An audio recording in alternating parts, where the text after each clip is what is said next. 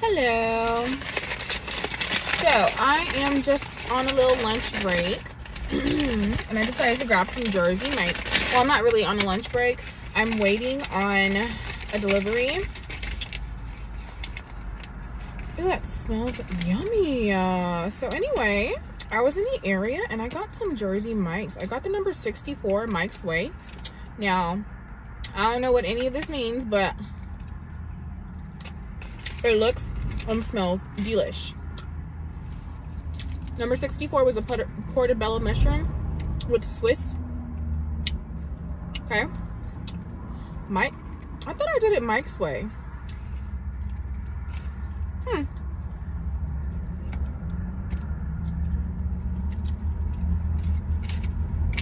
Hmm. I thought that's like with lettuce. Maybe not. Anyway.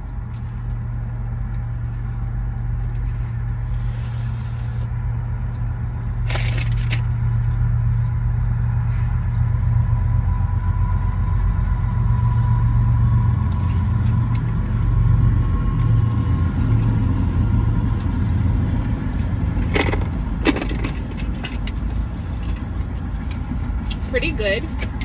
I'm gonna add a little salt and pepper because I do feel like it just needs a touch of that and some hot sauce and it will be perfect. So that's what I'm adding now. I got my salt and pepper. I have some Tabasco. I keep packets of, of sauces in my car, guys. I gotta stay ready because I eat on the go all the time. So, there's a train. Sorry if you guys can't hear me.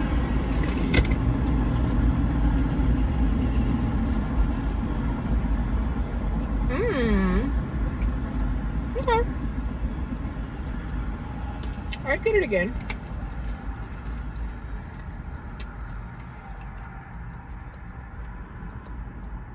Good vegetarian meal. I have um unsweet tea with a little splash of sweet.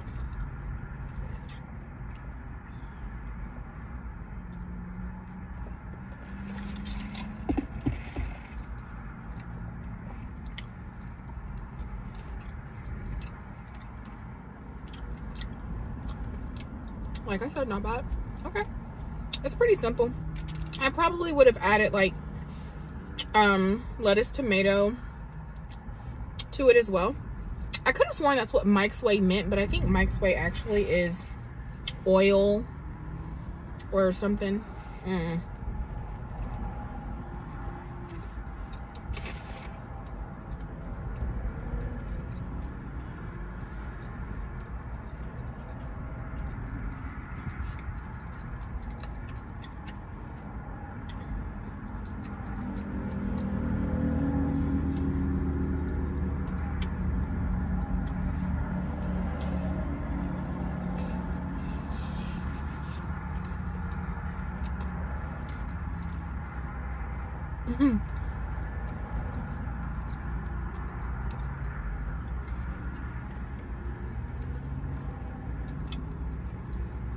I would add banana peppers to this as well. Jalapeno. Banana peppers, jalapeno, lettuce, and tomato. If you like simplicity, this may be perfect for you. I like a, a good balance of flavor.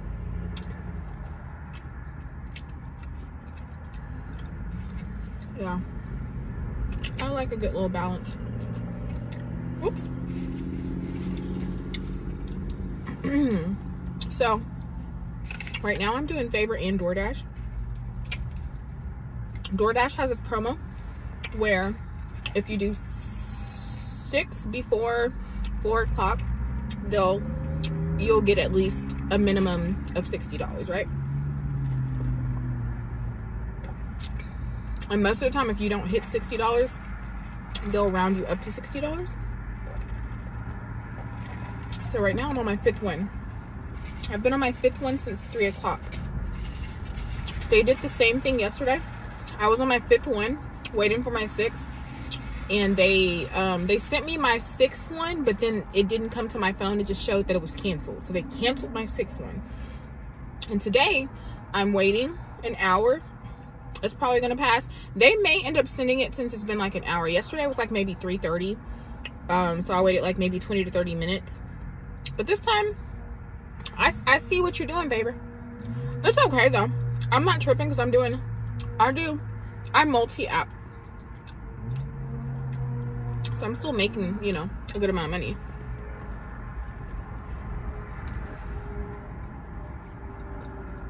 I just don't like when people play with me.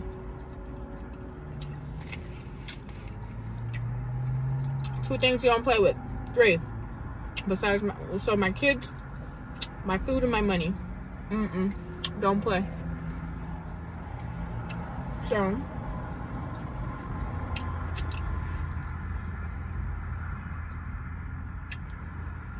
I don't know if you guys are familiar with Bashar. He's one of the um, sort of spiritual guides that I really resonate with.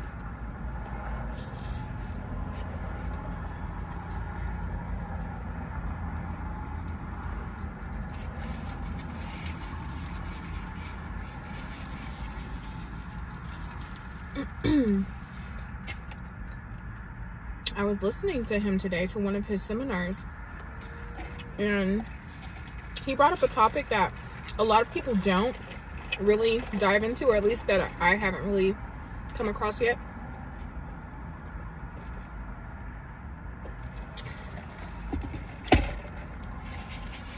As far as like be, being able to create your own realities and how you can die but you don't have to you can choose to like continue life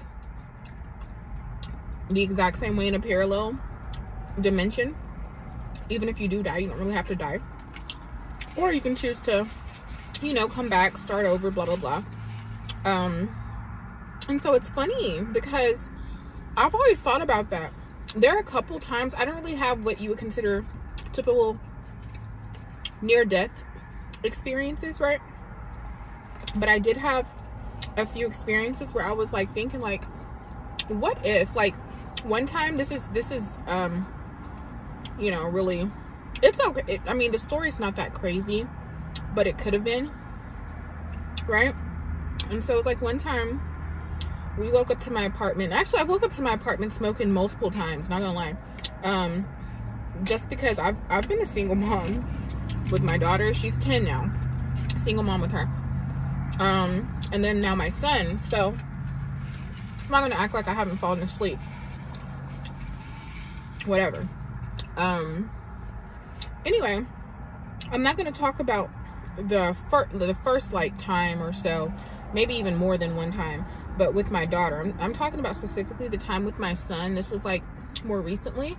Um, so I was boiling his bottles and I just so happened, I guess, to fall asleep because I was working nights. I was working nights and I had him during the day. And so the only time I would really get to sleep was when he would take his naps. Um, so it was like, it was really hard on me. I'm not gonna lie. I remember boiling the bottles. That's how we sanitize them. And I guess I fell asleep. And usually I would wake up. I'm not gonna say I haven't boiled them and the water goes down a little bit to where it's like, you know, burning the bottles, but I've never done it to where it was like smoky. So yeah, I woke up and completely, my entire apartment completely engulfed in smoke. And so, um, you know, I wake up and I have to like really open all the windows. I um made sure because my sister was there at the time as well. Um, her her room was a little smoky, but it wasn't bad. Her door was closed. Everything else in the apartment was completely smoked out. My baby, um, I think he was like whining a little bit or crying. I think, as far as I can remember. It's kind of hazy. I'm not gonna lie. I just woken up to to that. So I got him out of the apartment, put him in the car. You know, turned the car on, put him in his car seat, and I just made sure all of the doors were open. Um, all the windows were open, everything like that. There was no, my smoke alarm didn't go off or anything, which is crazy. Smoke alarm didn't go off. Um, nobody called the fire department. There was no fire, but that plastic was like literally my entire apartment was engulfed. So that was that. Um, anyway, I say all that, told that story just to say I think about that that day a lot. Not really as much as, you know, a lot would even mean, right? I don't think about it a lot, a lot. But when I do think about it, I've always thought before I came across this that, like, what if I died that day? Not what if I would have died. It was like, what if I, what if we died? Like, I was already thinking that. What if we actually died that day?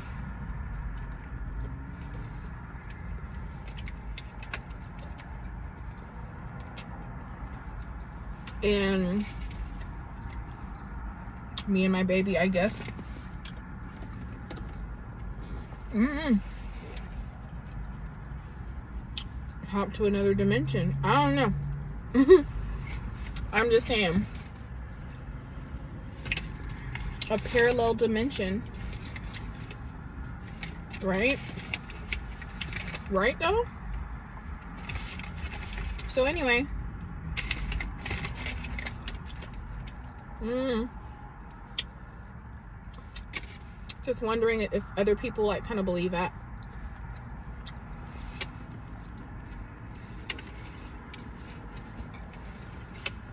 And I don't feel like things are really different, different, but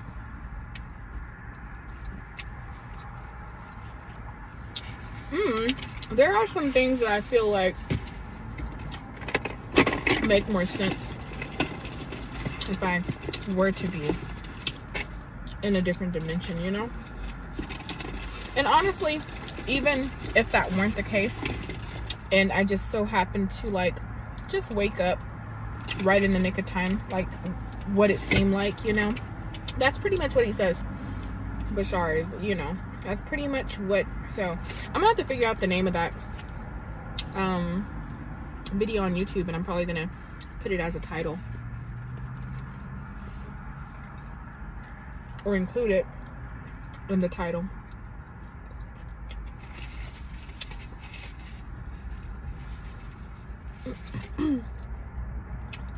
Because he touches on a lot more like how we're creating our reality moment to moment. Like each moment is like a new version or whatever. You know it's kind of like we quantum leap as we go on and make our experiences. We have different parallel universes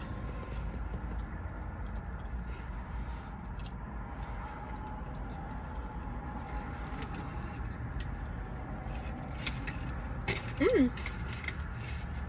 He said you can always choose. You don't ever have to die. I guess. Because I've been um I've been reading a couple of books as well. You know, a couple of different occult books. And if I ever feel guided to share, I will. But just about us being immortal, you know? Hmm. I want to know. I know I'm not the only one who believes in this sort of thing. I just want to know if there are any people that, any subbies that believe in this sort of thing, you know? Because I believe, like, everybody finds the people that are in their reality, everybody finds them for a reason.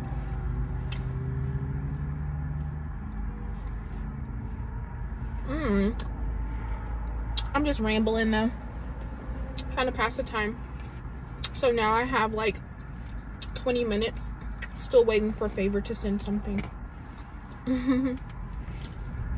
but they probably won't, which is fine.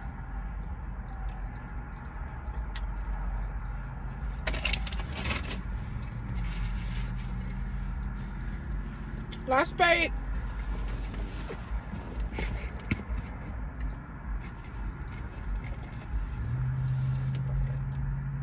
That was pretty good. If you guys are looking for vegetarian, so I think I'm gonna. I don't know. I want to start back um with vegan foods, but you got to start where you are. And although I was vegan for seven years, that's not really where I am right now. So I'm gonna take it slow. Um, because I was vegetarian before I was vegan for seven years. I, I was vegetarian for two. So um, maybe for other people who are looking to like transition, I can help you find just just easy ways to start transitioning because that's kind of what I needed in the beginning. So I guess this is vegetarian. Consider you know since you're vegetarian, um, vegetarian. As some people know, if you are looking to do less meat in your life or more vegetables, whatever, or healthier options, vegetarian is simply no meat. Um, no meat, no fish. If you want to do fish or seafood, that is considered pescatarian. So pescatarian is no meat, but you can still have seafood. You can also have dairy products and um, like eggs, but it's just no meat. Vegetarian is no meat and no fish but you can still have dairy and you can still have eggs. Okay? Vegan um is none of the above. You are it's pretty much only vegetables, grains, fruits, um, tofu, things like that. That is vegan. You do not consume any animal products. You don't consume um, dairy. You don't consume eggs. You don't consume fish. Um, also, you don't consume things that are made or, you know, have anything to do with animals. Like most people don't wear leather. Uh, you do not eat honey because, you know, vegans are very sensitive about their honey. Um, last bite. Also, a lot of the more hardcore vegans, they are conscious about their carbon footprint, their waste, you know, trying to recycle as much as you can, um, trying to buy things in bulk, that way you're not creating so much waste. Things like that. Also, it's a sugar thing as well. Um, oh, gelatin. That's also something that vegans do not consume. Gelatin, you have to make sure it's usually in gummies sometimes, not all the time. Um, jello, pudding, things like that have gelatin. So you got to make sure not consuming that. Um, like I said, you can still, to me, be considered vegan and still consume sugar, but there are some hardcore, hardcore vegans who literally are like no sugar. That's processed with the the regular sugar. I guess it's pro processed with bone char. So with animal bone char. That's a thing as well. So anyway, um, that was like I said, that was Jersey Mike's sub, and that was considered vegetarian or pescatarian. It's just not vegan because of the Swiss cheese. Um, I don't think they use any butter. I think it's oil. But yeah, because of this, the Swiss cheese and the bread had Parmesan. You can also, you know, make sure you do your research ahead of time. If you are looking to go vegan or whatever make sure the restaurants that you're going to they have vegan options or you know i was never a salad girl. I'm, I'm more of a salad girl now than i was when i was vegan. When i was vegan i learned how to cook food that i liked you know because i did not want salads. But now i actually consume so many more salads than before um also it helps with weight loss too i'm not gonna lie when i when i cut out the dairy when i was vegetarian i didn't really drop any weight money's coming but like the minute I went vegan, 30 days later, I dropped all my weight. Um, after, you know, a couple years, I kind of plateaued and I could not lose weight unless I did keto with my veganism or, you know, so I was doing keto as well. And then I would lose weight that way. So I'm kind of um trying to do that's kind of where I'm going now because I do need to lose a weight. I'm looking to lose my baby weight. Um, and so I'm I'm not really doing keto, but I have given up meat again, kind of sort of for the most part. Um, I'm not eating meat.